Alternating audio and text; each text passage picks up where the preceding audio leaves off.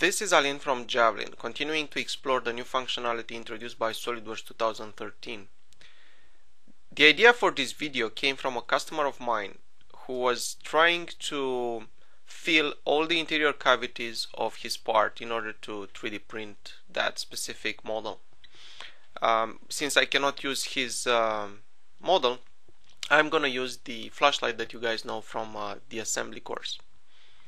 And um, if you're looking in the um, section you're going to find out that there are quite a few items that are internal. And SolidWorks has a pretty nice tool to allow you to identify the internal items. So if you use advanced selection uh, you have this option to select internal components.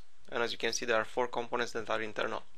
Now what uh, the design intent is actually not the design but what the end result is supposed to be all these cavities inside need to be filled. So let's see how this can be done. The first thing that you might want to try is using the defeature tool. But in this case I found out it doesn't work really really well. Uh, especially because my customer wanted to uh, get uh, an exact geometry for the outside faces. So if you try the defeature here, uh, you're gonna see something uh, strange happening. Uh, let's say I want to remove all the internal components and show me um, hide all the internal components. So let's take a look if that is happening. Gonna do that. And looks like the defeature tool wasn't able to identify these things as being internal. So that's part number one. But still I can keep going forward because the defeature has this uh, ability of filling the internal volumes. So let's see what we got.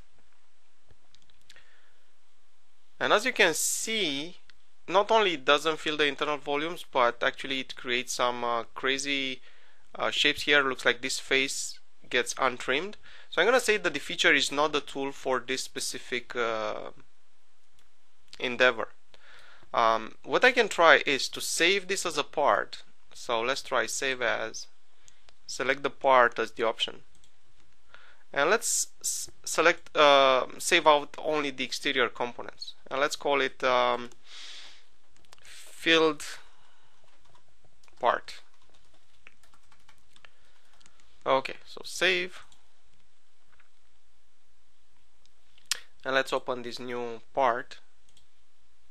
It's pretty much the same as before. The only thing that you notice is that I got rid of the internal components. Now let's see how we can fill this uh, interior. And uh, this is where intersect makes so much sense because it's not used only for merging the solids that are um, touching but also to fill all the cavities inside if you want to. So let's try intersect. Notice I have the filter on here because you can do something really interesting. You can actually turn on the solid bodies filter. Select one body and because the filter is on. Actually even without selecting anybody because the filter is on I can just press ctrl A and it's gonna select all the entities of this type so all the solid bodies in the part. So let's use the intersect command. And I'm not gonna remove any of these regions. It's gonna try to merge all the bodies that are touching. And let's do a section through here. And as you can see all these cavities that are completely enclosed gets get filled.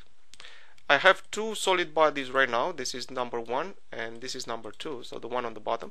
And that's only because if I'm doing a section through through here, let's uh, try to go in there, you're gonna find out that it's a bit of a clearance between the pin and the so as you can see there is a clearance here that's that's the reason this cannot be merged but actually I'm even more impressed with the capabilities of the intersect because it was able to merge the things that are touching and it was able to identify the two bodies.